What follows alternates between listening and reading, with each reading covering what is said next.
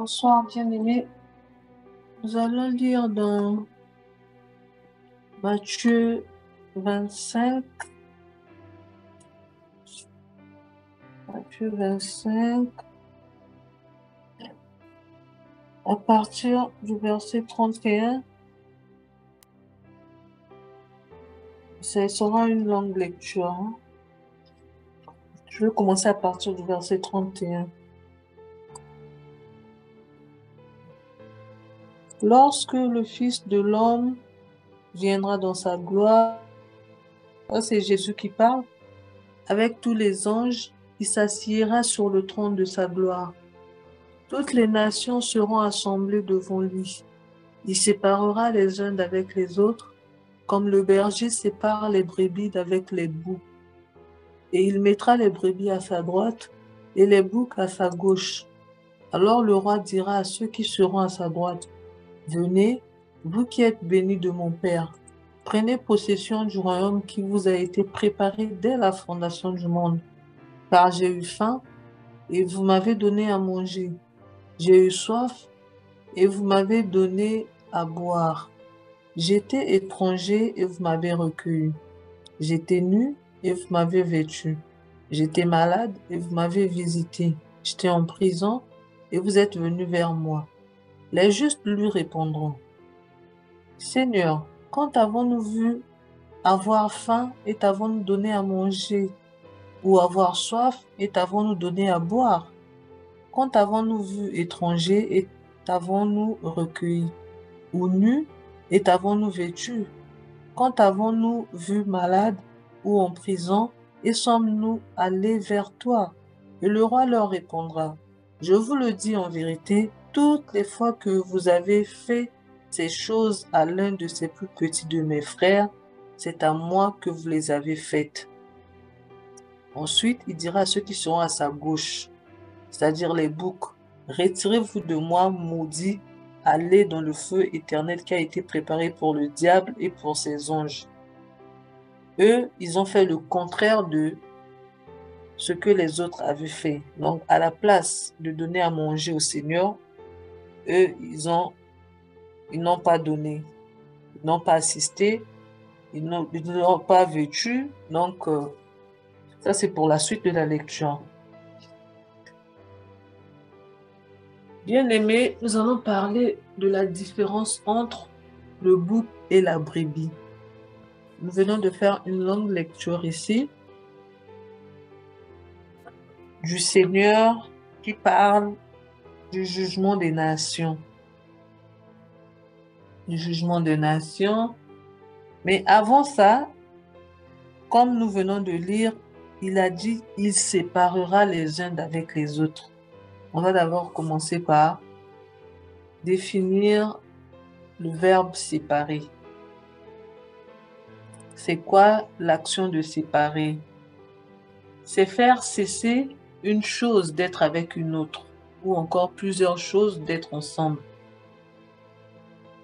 Séparer une chose d'une autre, d'avec une autre, ou faire que des personnes ne soient plus ensemble ou en contact. Donc, comme Satel et moi ici, si on veut nous séparer, on va faire à ce que nous ne soyons plus ensemble. Mais ça, c'est juste un exemple, cela ne va pas arriver.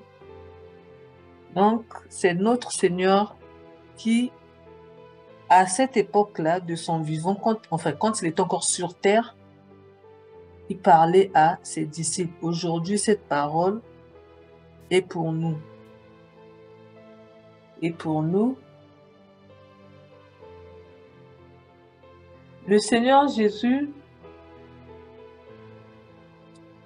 a fait l'illustration sur les boucs et les brebis.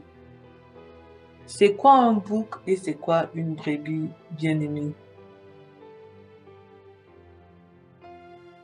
Je veux prendre le bouc directement de la Bible. Le bouc dans la Bible, pour des raisons nombreuses et manifestes, en fait, des, des raisons qui caractérisent le bouc, c'est la puanteur, la lubricité, la surabondance, la rudesse de ses poils, qui sont le caractère de la bestialité. Ces cornes qui se lèvent de sa tête, vous connaissez comment, qui se, euh, qui se courbent sur elle-même. Synonyme de violence. C'est, il représente la nature pécheresse, le bouc. C'est un animal qui était adoré par les Hébreux. Donc, vous-même, vous savez que notre Dieu n'aime pas les idoles. Il défend cela. Mais le bouc était adoré par les Hébreux. Donc, c'était contre la volonté de notre Père. Nous pouvons lire cela dans Lévitique 17-18. Il était pris comme une idole, comme un Dieu, en fait, au milieu du peuple israélite. Et Dieu est contre les idoles. Et quand nous venons du côté de la brebis, la brebis est un animal qui représente la pureté, l'innocence et la justice. Elle a pour caractère la douceur, la simplicité, la modestie, la tranquillité, l'obéissance, ainsi de suite. Et Jésus a illustré, il dit ici dans sa lecture, comme nous venons de lire, dans le jugement, pendant le jugement des nations, il mettra les brebis à sa droite et les boucs à sa gauche. Pourquoi il mettra les, les, brebis à sa droite et les boucs à sa gauche? Les brebis qui ici, on vient de voir, illustrent euh, comment euh, la, la, ont pour caractère plutôt la douceur, la douceur qui, est, qui fait partie du fruit du Saint-Esprit. Quand nous lisons dans Galates, nous voyons dans le fruit euh, de l'Esprit, il y a la douceur, il y a la simplicité. Notre Dieu nous demande d'être simple comme des colombes. Il y a la modestie. La modestie fait partie aussi du caractère d'un enfant de Dieu. La tranquillité, ça fait partie de la douceur, du calme, tout ça là, ça fait partie du comportement d'un enfant de Dieu. Il y a l'obéissance. Tout ça là, c'est le caractère de la brebis. Et nous, aujourd'hui, en tant qu'enfants de Dieu, en tant qu'enfants de Dieu, nous qui aspirons au royaume de Dieu, nous devons nous mettre de quel côté? Nous devons être de quel côté? Parce que en tant qu'enfants de Dieu, tous nous aspirons à passer notre éternité auprès de notre Père. Est-ce que ce jour-là, que ce soit moi, que ce soit vous, voudrions-nous être à la droite du Seigneur en tant que brebis ou à sa gauche en tant que bouc. Mais pour être brebis, que devons-nous faire? Que devons-nous faire en tant que brebis? Parce que ici, le bouc et la brebis sont en quelque sorte comme l'ivraie et le blé que le Seigneur avait demandé euh, euh, comment, dans la parabole de l'ivraie et le blé. Les deux poussaient ensemble. Les disciples ont voulu, euh, comment les, les, comment on les appelle ceux qui travaillaient dans le champ, quand ils ont remarqué qu'il y avait de l'ivraie, alors que le Seigneur lui-même avait planté le blé, l'ennemi est passé pour mettre, pour planter l'ivraie. Ils ont voulu arracher l'ivraie. Le Seigneur a dit non. Laissez les deux croître ensemble et à la moisson, on va enlever l'ivraie pour jeter dans le feu. Aujourd'hui, tous nous sommes ensemble, que ce soit dans les églises, euh, bâtiments ou encore n'importe euh, laquelle, parce que nous sommes église, nous en tant que personnes, et aussi les édifices où les enfants de Dieu vont se mettre, euh, vont se rencontrer ensemble pour les cultes. Mais dans ces édifices-là aussi, il y a les boucs. Il y a aussi les brebis. Et aujourd'hui, nous sommes en train de marcher ensemble. c'est pendant la moisson, c'est pendant le jugement des nations qu'on saura qui était réellement euh, brebis et qui était bouc. Mais nous, aujourd'hui, en tant que les enfants de Dieu, comme je venais de dire, qui aspirons à passer l'éternité avec notre Dieu, parce que c'est ça le but que nous sommes, nous avons été sauvés pour marcher, pour sauver les autres et pour que demain, nous soyons ensemble avec notre Seigneur. Mais à ce moment-là, la condition est que quand le Seigneur passera au jugement, en fait, quand il va juger le monde, il va mettre les brebis à sa droite et les boucs à sa gauche. Maintenant, nous qui sommes là en ce moment, ce temps n'est pas encore arrivé, mais quand ce temps viendra, quelle sera notre position? Voudrions-nous être à sa droite ou à sa gauche? Si nous voulons être à sa droite, il a tout expliqué ici dans la suite de la lecture. Il dira aux brebis qui sont à sa droite, j'ai eu faim et vous m'avez donné à manger.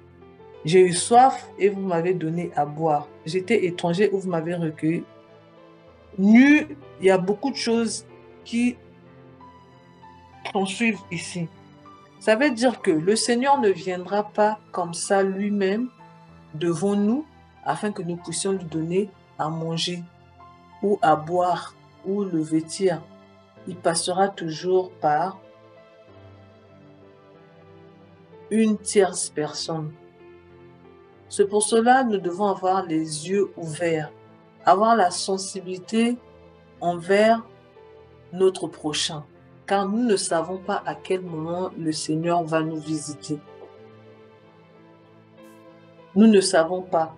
On a dit ici, là, la brebis est douce, elle est simple, elle est modeste, elle est tranquille, elle est obéissante. Obéissante à quoi? À la parole de Dieu. Elle est sensible aux problèmes des autres. Nous sommes là aujourd'hui, nous qui sommes dans nos maisons, on a parlé du froid, mais il y a certaines personnes qui croupissent dehors. Qu'est-ce que nous, qui voulons manifester le comportement de la brebis, nous faisons? Pour apporter quelque chose. Il ne suffit pas seulement de partager la parole, mais d'agir aussi. D'agir envers les uns et les autres.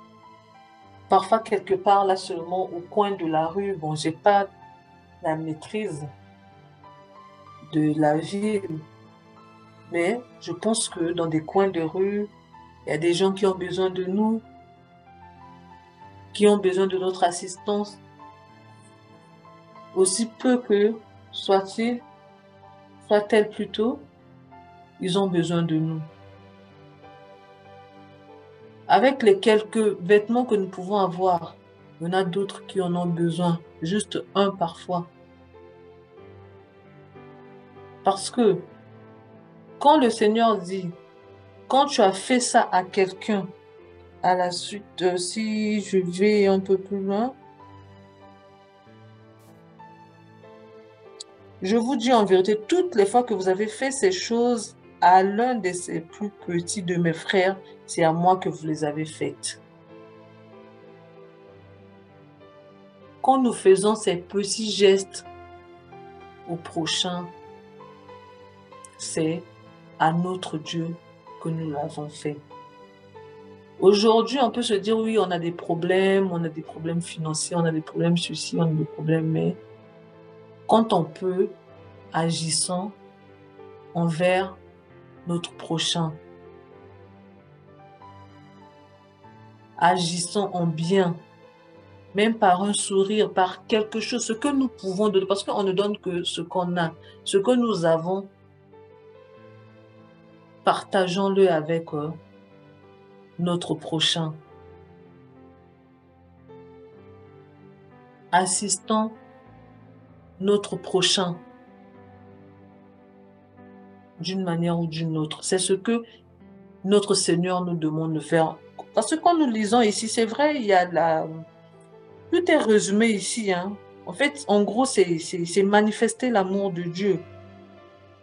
C'est de manifester l'amour de Dieu envers notre prochain. Aller dans des prisons. Je ne sais pas comment ça se passe ici. Visiter. Assister, aller prier pour les malades. C'est ça aussi le ministère. C'est pas seulement s'asseoir à la maison, on est là, on, on parle de Dieu, mais les actions qui accompagnent cela. Un jour, on peut se lever. Ah, aujourd'hui, on va visiter les malades. On va les prier pour les malades. Notre Seigneur aussi nous attend dans ces, dans ces petites choses. C'est des choses qui paraissent petites aux yeux peut-être des hommes, mais aux yeux de Dieu, c'est énorme. C'est ça qui fera ce que demain, qu'il nous place à sa droite en tant que brebis qui nous accepte, qui nous accepte aussi dans son royaume. Parce que ce n'est pas tous qui auront la, capacité, de, de, recevoir ces messages. Mais c'est par des petits gestes que nous allons faire qui vont aussi amener ces gens-là à accepter le Seigneur au travers l'amour que nous aurons manifesté envers eux.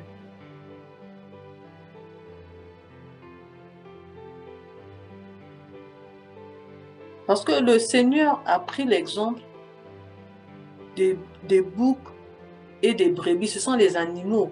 Mais là, en réalité, c'est il parle des hommes parce qu'il ne jugera pas des animaux, il nous jugera nous. Bouc et, et, et, et, brebis, c'est juste un exemple que le Seigneur a pris. Comme je disais, c'est comme dans la parabole aussi de l'ivraie et du blé. Mais il parle des personnes. C'est nous qui allons répondre devant le Seigneur par rapport aux actes que nous aurons posés, que nous aurons eu à poser ici sur cette terre. Nous sommes là, nous partageons la parole, certes, c'est bien, mais nous devons aussi poser des actes. Nous ne devons pas nous arrêter à penser à nous, le fait que je me suis réveillée, j'ai eu à manger, ça va pour moi, je peux me permettre d'aller à l'hôpital, ça va pour moi, j'ai un habit ici que je peux porter, ça va pour moi. Mais et les autres qui sont en manque? C'est pas Dieu qui descendra pour leur faire du bien. Il va toujours passer par nous. En ce moment même dans nos pays, il y a des orphelins qui sont là, qui vont passer des fêtes, qui veulent aussi se réjouir comme nos enfants dans la maison parce que en ce moment, chaque parent pense à ses, à, ses enfants. Ah, je dois faire plaisir à l'enfant. Je dois acheter ceci à l'enfant. Je dois faire ceci aux enfants. Mais, et les enfants qui n'ont pas de parents? Les enfants qui ont été abandonnés? Est-ce qu'on a pensé à eux? Parfois, ça ne demande pas grand-chose. Un petit geste. Un petit colis. Ça va illuminer le cœur de Dieu. Parce que quand ces enfants-là seront dans la joie, c'est Dieu qui sera dans la joie. C'est Dieu qui sera dans la joie, mes bien-aimés. Ayant le caractère de la brebis. Pour que nous soyons à la droite, ce jour-là, nous soyons à la droite de notre Seigneur Jésus-Christ. Quand il dira que j'ai eu faim, tu m'as donné à manger. J'ai eu soif, tu m'as donné à boire. J'étais en prison, tu m'as visité. Parce que nombreux, quand on suit parfois des témoignages, ont connu le Seigneur parce qu'il y a eu des gens qui se sont levés pour aller partager la parole dans des prisons. C'est comme ça qu'ils ont reçu le Seigneur. Pas pendant qu'il était en liberté, mais pendant qu'il était en prison, parce que Dieu a suscité des gens qui, ont obéi. Toujours le caractère de la brebis, obéissante, qui ont obéi à la voix de Dieu. Ils sont partis par, euh, parler de, la part de Dieu. Et ces gens ont reçu le Seigneur. En sortant de la prison, c'est devenu des grands serviteurs de Dieu aussi. Pendant que nous parlons, parfois il y a des gens qui sont seuls dans des hôpitaux. Seuls dans des hôpitaux. Pas de famille. Il leur suffit seulement d'une parole, d'une prière pour reprendre des forces. Pour reprendre des forces. Mais ça viendra de qui? Nous que Dieu a choisi.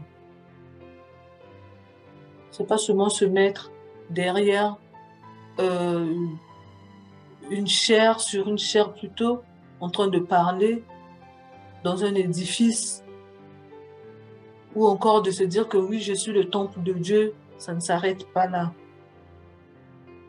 Ça doit s'accompagner des actes.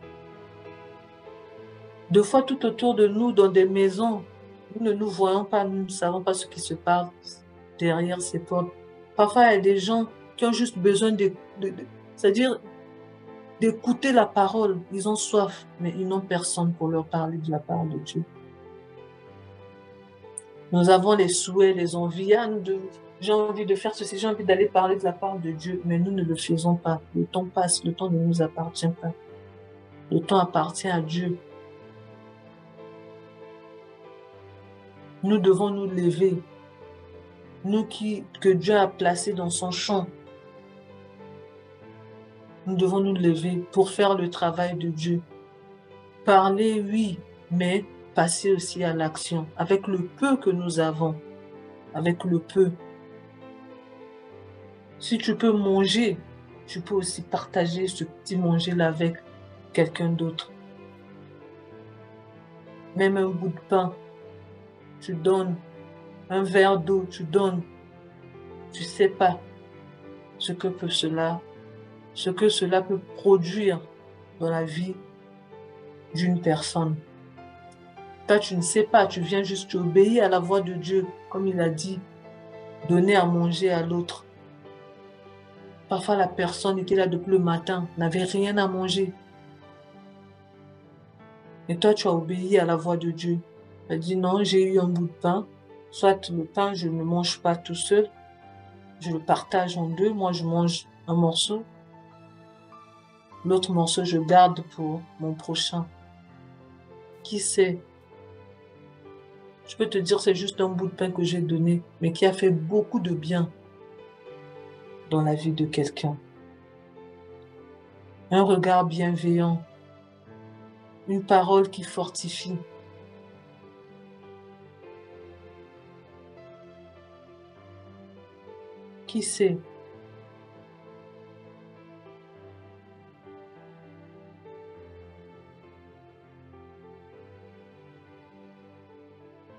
Bien-aimés, je nous appelle à la réflexion par rapport à cette parole.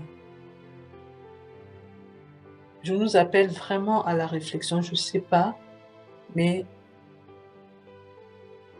j'insiste vraiment. Je ne sais pas ce que tu as l'habitude de faire pour ton prochain. Peut-être tu donnes déjà, mais Dieu nous demande à faire plus. faut pas raisonner que non, moi-même j'ai des problèmes. Non. Non. Tous, on a des problèmes. Tous. Mais si nous nous limitons à ça, nous nous accrochons à ça que non, ah, on a déjà des problèmes, on peut rien faire. Je pense que le Seigneur ne sera pas content de nous. On risquera d'être à sa gauche parce que l'occasion, quand l'occasion nous sera présentée pour faire quelque chose, et à ce moment-là, à cause du raisonnement, on va passer à côté. On va passer à côté d'agir comme le Seigneur le, voudrait. Agissons quand on peut. Même quand il en reste seulement un peu. tu sens que tu dois faire, tu dois le faire, vas-y, fais-le, n'hésite pas. Ne dis pas que moi-même, moi-même mes enfants, moi-même ceci. Non, bien-aimé. Faisons du bien autour de nous. C'est la volonté de Dieu que nous puissions assister les autres, que nous puissions donner à manger. Parce que le Seigneur lui-même a dit, en vérité, je vous le dis, toutes les fois que vous avez fait ces choses à l'un de ces plus petits de mes frères, c'est à moi que vous les avez faites. Quand Dieu, quand Dieu est là dans la vie d'une personne, toi, tu peux savoir que non, ça c'est, en ce moment, c'est le Seigneur lui-même qui est là. Tu ne pourras pas savoir. Personne ne connaît le visage de Dieu comme ça. Il prend la forme qu'il veut. Donc, quand un être humain se présente devant toi, quand tu peux, n'hésite pas, bien aimé. N'hésite pas. Ne soyons pas comme les boucs. Soyons plutôt comme la brebis. Parlons aux autres avec douceur.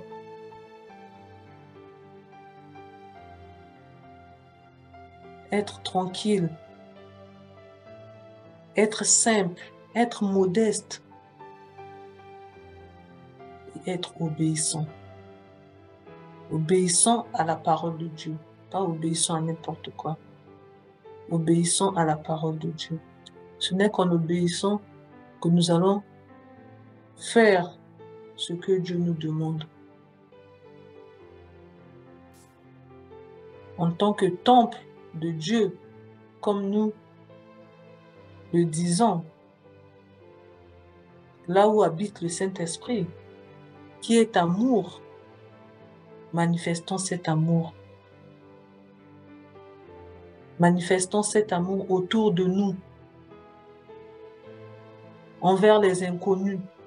Parce que si nous faisons du bien qu'à ceux qui ont l'habitude de nous le faire, ce sera, c'est comme on dit, tu, salues la personne qui a l'habitude de te saluer. C'est normal, c'est réciproque. Il faut aussi saluer ceux qui ne te saluent pas. À ce moment, on saura que non, tu manifestes l'amour envers même ceux qui ne ne le font pas. Envers toi. Toi, tu obéis seulement à la parole de Dieu. À aimer ton prochain comme toi-même.